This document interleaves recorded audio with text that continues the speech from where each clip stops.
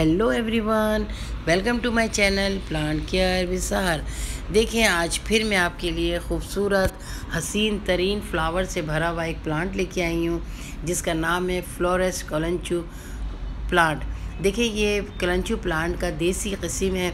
ये red colour में होता है ऑरेंज में होता है वाइट में होता है और येलो कलर में होता है। ये हर कलर में खूबसूरत लगता है। इसकी ये इजी टू ग्रो प्लांट है। इसको बहुत इजी हम इजी ग्रो कर सकते हैं। हम छोटे से पॉट में भी इसको ग्रो कर सकते हैं और बड़े से पॉट में भी ग्रो कर सकते हैं। और आप इसकी ये देखें पत्तियाँ कितनी खूबसूरत बिल्कुल ग्रीन कलर के इसकी इसके लीव्स होते हैं। और जब ये और ये एक दिन नहीं दो दिन नहीं बल्कि वन मंथ से भी ज़्यादा इसके फ्लावर अपने ब्रांच के ऊपर टिके रहते हैं। और यही खूबसूरती है इस, इस फ्लावर की। इस प्लांट की कि ये काफ़ी दिनों तक हमारे, हम, हमें खूबसूरती देते हैं।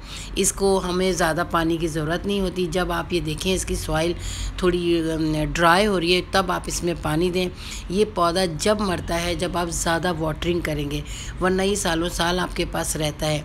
समर में इसकी ज़्यादा ज़रूरत होती है केयर की, क्योंकि समर में शदीद गर्मी होती है, उसमें आप इसको इसको, उस समर में आप क्या कीजिए, इसको शेडी एरिया में रखें। आप इसको इंडोर भी रख सकते हैं और आउटडोर भी रख सकते हैं। इस प्लांट की एक और ख़ूबसूरती ये है कि ये इतना खूबसूरत स्टनिंग प्लांट इसलिए है कि ऊपर की तरफ़ के इसके फ्लावर होते हैं और आप ये देखें कि पानी भी कम देना है, आपने इसकी केयर भी कम करना है और जब इसके फ्लावर सूख जाता है तो उस ब्रांच को हम वहाँ से काट देते हैं।